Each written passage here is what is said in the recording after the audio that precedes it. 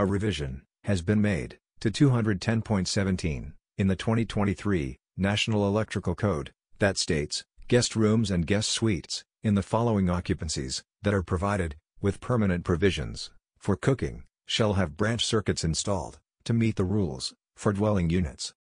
Hotels, motels, and assisted living facilities. Informational note number 1 states that C210.11, C2, and 210.52F, exception number 2, for information, on laundry branch circuits, and receptacle outlets. Informational note number 2, states that, See NFPA 101, 2021, Life Safety Code, 3.3.198.12, and A.3.198.12, 5, for the definition of, assisted living facilities.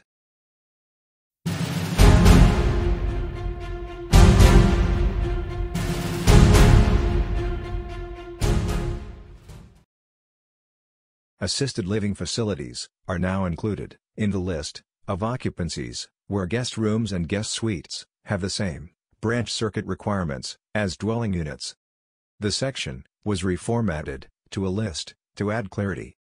Informational notes were added to provide appropriate guidance in the application of this section.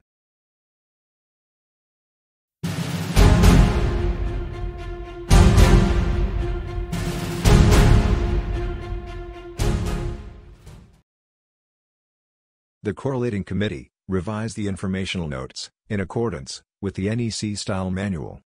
These notes were revised in accordance with the following sections of the NEC Style Manual, including, but not limited to, Structure 3.1.3.1, Parallel Construction, 3.3.5, Reference Structure, 4.1.3, and References to Other Standards, 4.2.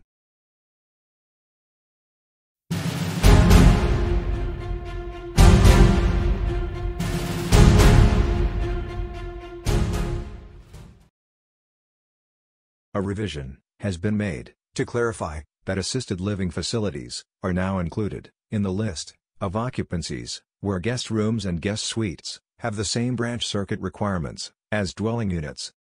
The section was reformatted in a list to add clarity. Informational notes were added to provide appropriate guidance in the application of this section.